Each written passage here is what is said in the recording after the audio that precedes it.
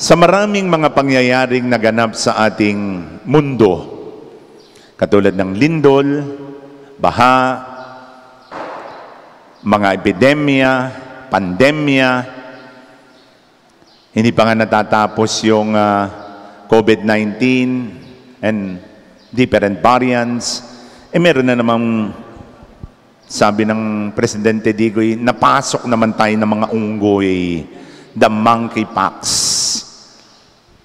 At maaring ang isang katanungan ay, ito ba ay hudyat na malapit na ang katapusan ng mundo?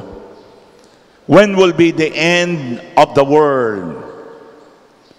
Wala pong nakakaalam.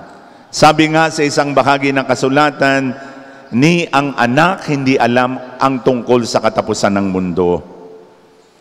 Pero isa lang po ang nakakatiyak tayo, that we are at the end, we are at the end times. And we are now experiencing spiritual struggle. The spiritual struggle of good and evil. At naranasan natin yung paglalaban ng dalawang kaharian. Ang kaharian ng Diyos at ang kaharian ng demonyo. And the manifestations of the presence of evil can be seen in the experience of injustice, in the experience of division, in the experience of so many storms in our life, loneliness, giyera sa ating puso, giyera sa labas, at ito'y nagbabadya na nariyan ang giyera. The battle continues, no longer in the desert but in our heart. Marami mga bansang nag-aaway, Russia, Ukraine, and look at China na nambubuli sa atin. Wala naman tayong magawa. Sapagat ihian lang tayo ng mga Chinoy, lunod ang mga Pilipino. Kaya wala tayong magagawa. At this is true to some other countries.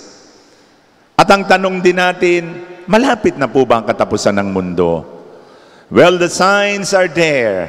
And what we need to do is to prepare ourselves. At ang isang mapapanghawakan natin ay hindi tayo pababayaan ng Diyos.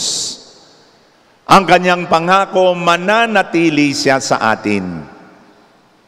Si Jesus ay pupunta na sa Ama, pero ipapadala niya ang kanyang banal na Espiritu upang siyang ating maging gabay, upang siyang ating maging lakas, upang tayo magkameron ng kapangyarihan laban sa mga problema at alalahanin sa buhay. Makakatiyak tayo na kasama natin ang Diyos. Behold, I will be with you till the end of the times. Mga kapatid, how to be victorious and magnanimous in this spiritual struggle that we have. Number one, we need to be experience vigilance as we remember the teachings and prohibitions of the gospel. Ang baon natin ay ang turo ni Jesus. Ang baon natin ay ang kanyang mga salita na magbibigay ng direksyon sa ating buhay. Vigilance. As we remember this, the teaching of the Lord. Pangalawa, charity. Isang makalagang panlaban natin at masabi nating uh, a weapon, spiritual weapon is as we share love and charity to those people who are in need of our service, we can be victorious and magnanimous. Pangatlo, living our own Christian life. By living a holy life, hindi lang pare ang dapat maging banal.